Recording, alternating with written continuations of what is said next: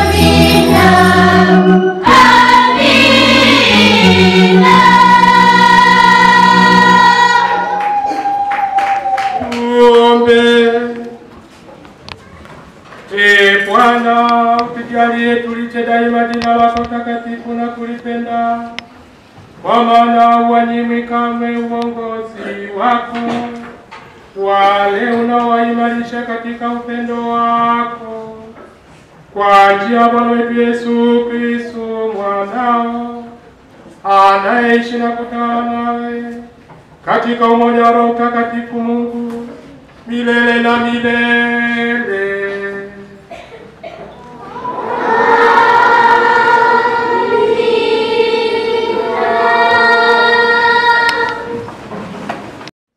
Na haya ndani ya dia kumi na moja.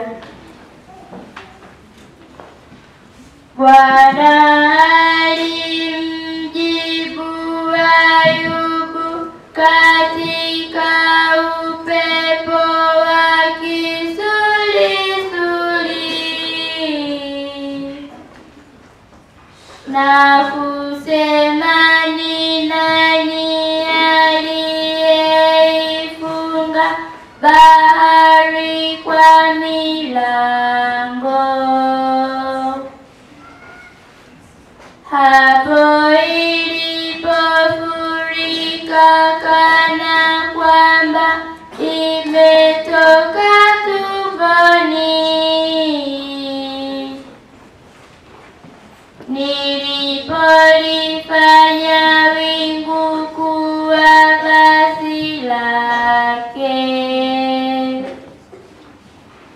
na kizazi zito kuwa nguo ya kuifungia. Nikaiagiza amri yangu nikaiwekea makomeo na milango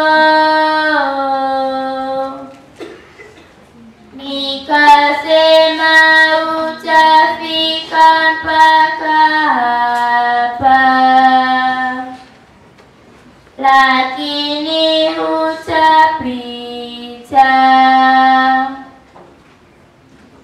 na hapa mawimbi yako yanyetayo yatazuiliwa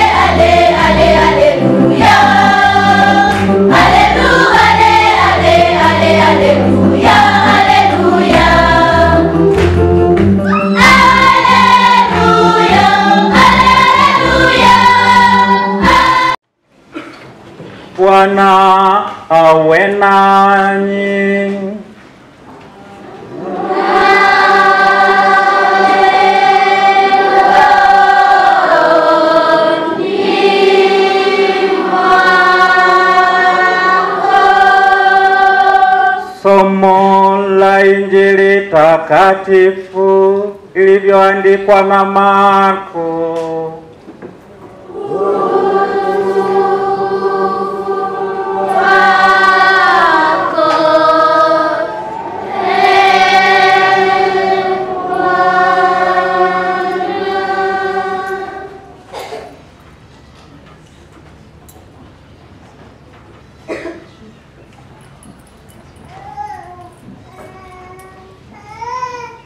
Siku ile kulipokuwa jioni, Yesu aliwaambia, na tuvuke mpaka ng'ambo.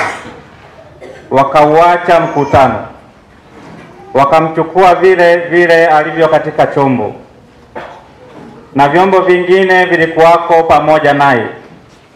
Ikatokea dhoruba kuu ya upepo, mawimbi yakakipiga chombo hata kikaanza kujaa maji naye mwenyewe alikuwako katika shetri amelala juu ya mto.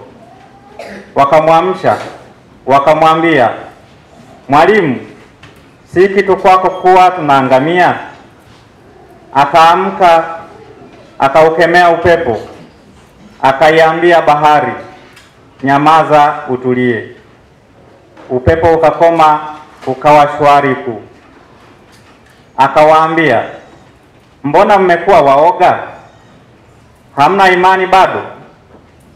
Wakaingiwa na hofu kuu, wakaambiana, ni nani huyu basi hata upepo na bahari kumtii? Neno la Bwana.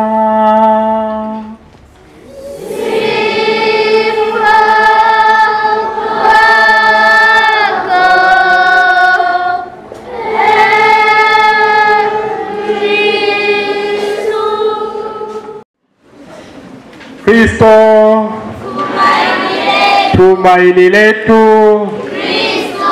mapendo daima, daima. Mapendo. Utoto Mtakatifu.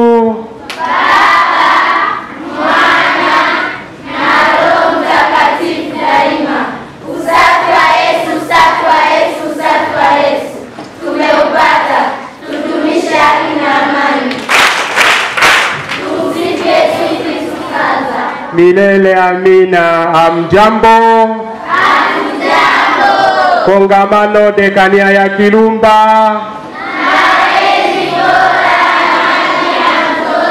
Malezi bora ni haki ya mtoto.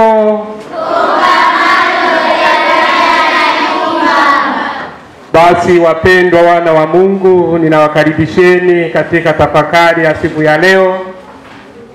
Tusikilize Mwenyezi Mungu ananena nasi kuhusu maisha ya hapa duniani. Mungu ametuumba ili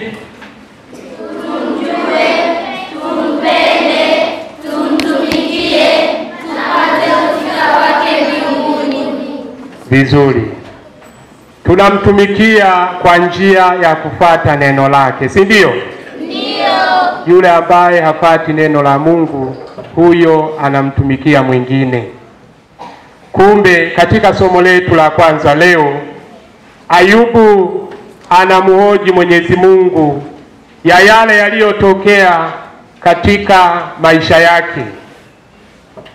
Ayubu alipitia maisha magumu ya kujaribiwa kwa kupilisiwa mali zake. Mwenyezi Mungu alipokuwa katika mizunguko yake akakutana na shetani, akawa anamweleza juu ya mtumishi wake nani? Ayubu. Umemwona mtumishi wangu Ayubu anavyonipendeza kule duniani? Shetani akamjibu kwamba anakupendeza, anakuheshimu, anakutumikia kwa sababu umempatia mali, umempatia watoto wazuri na umempatia afya iliyo njema. Mwenyezi Mungu akamwambia, sivyo unavyofikiria, na kuruhusu nenda kaharibu vyote alivyo navyo, kaharibu mali yake, kaharibu watoto wake, waue wote kaharibu afya yake, ila usiguse roho yake, usiguse uhai. Ayubu akaenda akaharibiwa kila kitu alichokuwa nacho. Alikuwa na watoto wazuri wote wakafa, punda, kondoo na mali alizokuwa nazo zote zikateketea. Basi baada ya hayo yote, Mwenyezi Mungu akampatia maradufu. Wapendwa wana wa Mungu, Ayubu katika kumtumikia Mwenyezi Mungu hakukata tamaa, pamoja na kushauriwa na rafiki zake na mke wake kwamba mkane huyu Bwana Mungu wako ili upate kupona, lakini alikataa na kusema ya kwamba mnataka haya yaliyo magumu yamwendee nani? Tujifunze kupokea yale ambayo tunayapitia yaliyo nje na uwezo wetu, na ndiyo yaliyojibiwa katika injili ya leo. Yule ambaye tunaweza tukamkabidhi mahangaiko yetu, changamoto zetu, manung'uniko yetu ni Kristo ambaye anayeondoa zoruba zote. Mimi na wewe tunapitia zoruba mbalimbali, zoruba za kiimani zoruba za kuferi mitihani, zoruba za uongo, zoruba za kukoswa ajira kwa wazazi wetu, zoruba za mambo mengi ambayo yanatukwamisha katika kumtumikia Mwenyezi Mungu. Lakini mwanadamu anajisahau na kuona ya kwamba Mwenyezi Mungu hawezi na kukimbilia nguvu ya mwanadamu. Kumbe leo tunaalikwa na Mwenyezi Mungu kwamba zoruba zote tunazozipitia tuzikabidhi kwa Mwenyezi Mungu ili aweze kutusaidia nasi tukapate kuwa salama. Katika somo la pili, Mwenyezi Mungu anatudhihirishia ya kwamba pasipo upendo wake haya yote tunayoyatumikia hapa duniani, upendo ni kila kitu. Upendo ndio unaozalisha unyenyekevu ndani ya maisha ya mwanadamu. Upendo ndio unaotufanya tuishi kwa pamoja. Upendo ndio uliomfanya Mwenyezi Mungu akamleta mwanaye hapa duniani ili tuweze kukombolewa kutoka dhambi. Wapendwa wana wa Mungu, kwa kifo na ufufuko wa Bwana wetu Yesu Kristo na kwa ubatizo wetu tulifanyika kuwa wana wa Mungu, tulifanyika kuwa taifa teule la Mwenyezi Mungu, na sisi leo tuko hapa kama kongamano. Mwenyezi Mungu anatualika kwa upya huo tulioupokea kupitia sakramenti ya ubatizo, tukapate kufufuka na Kristo katika maisha yetu kwa kuacha yaliyo mabaya, kwa kutenda yaliyo mema.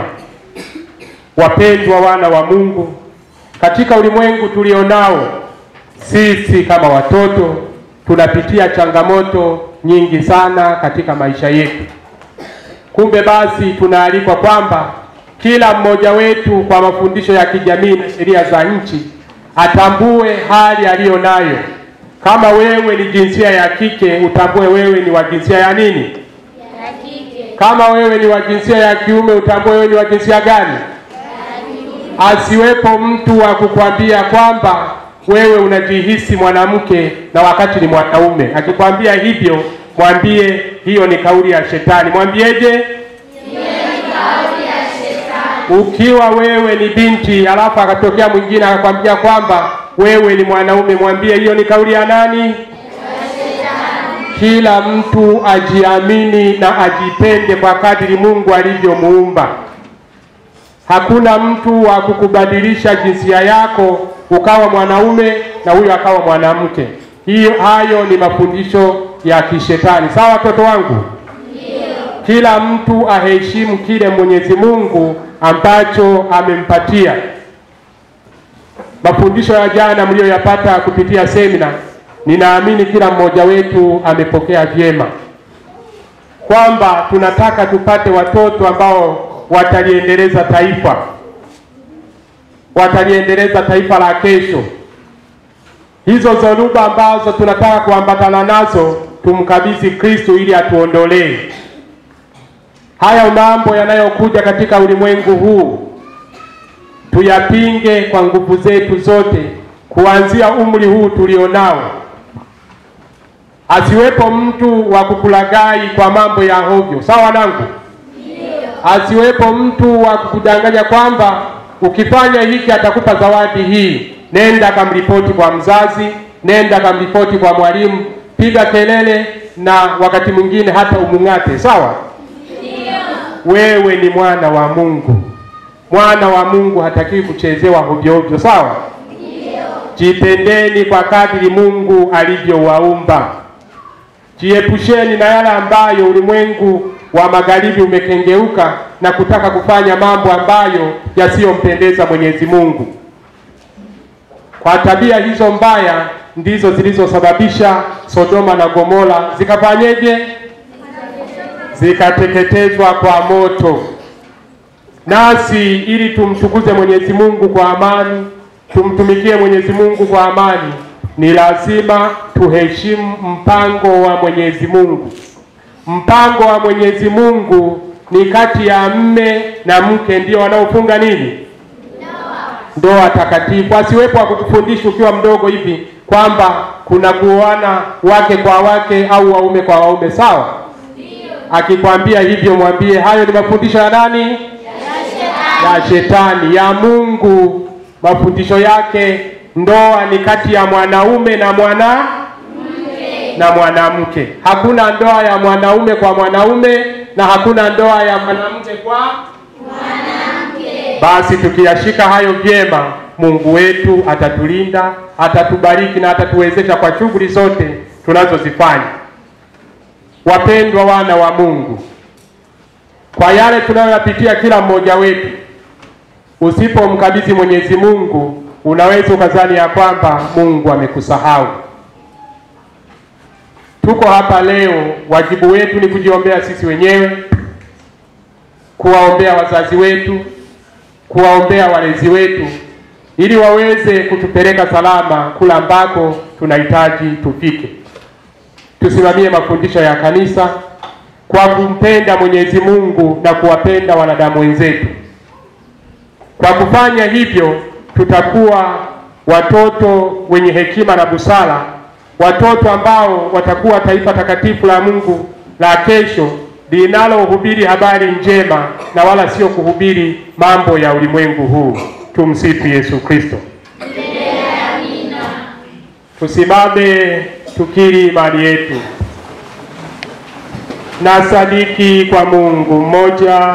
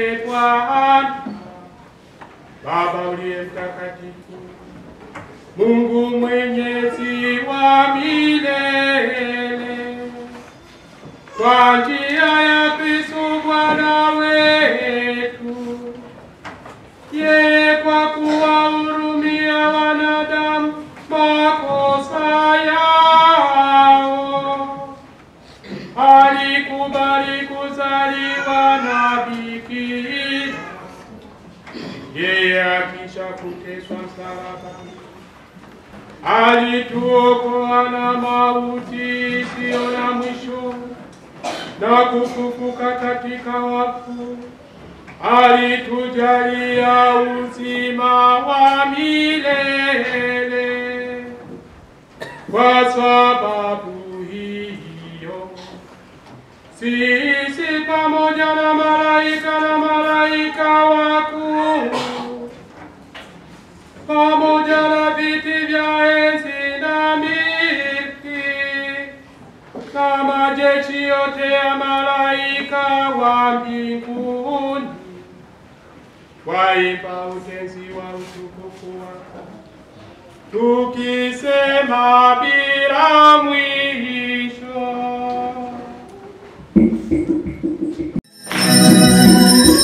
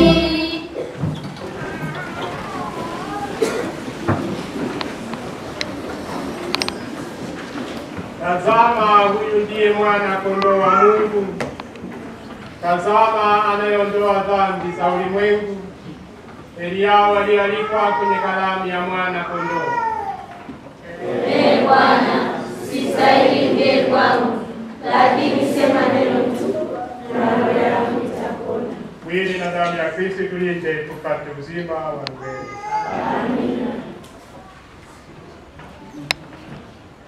Piccol per il che mi già danno di mia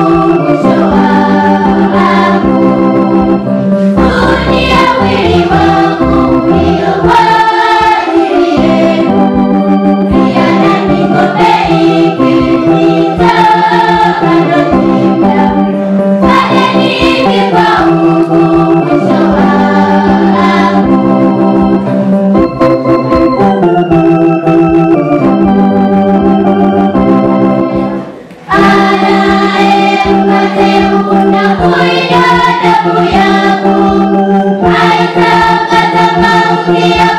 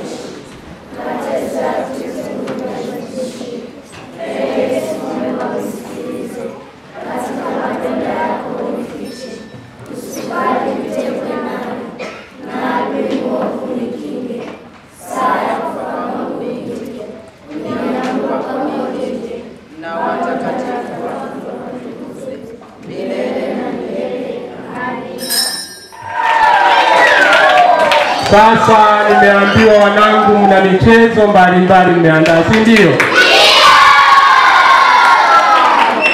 Basi nitahitimisha eh, misa yetu hapa, tutaelekea kule nje tukajipange. Kila parokia ni dakika tatu tatu, wanaonyesha vipaji walivyoandaa, halafu na Roho Mtakatifu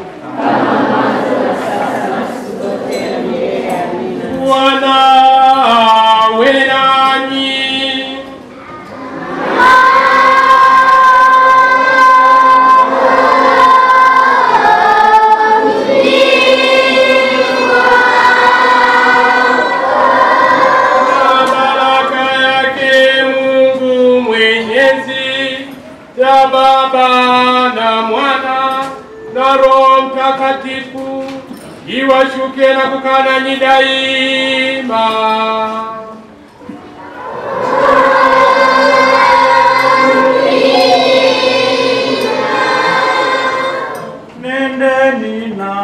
Nendeni na amani.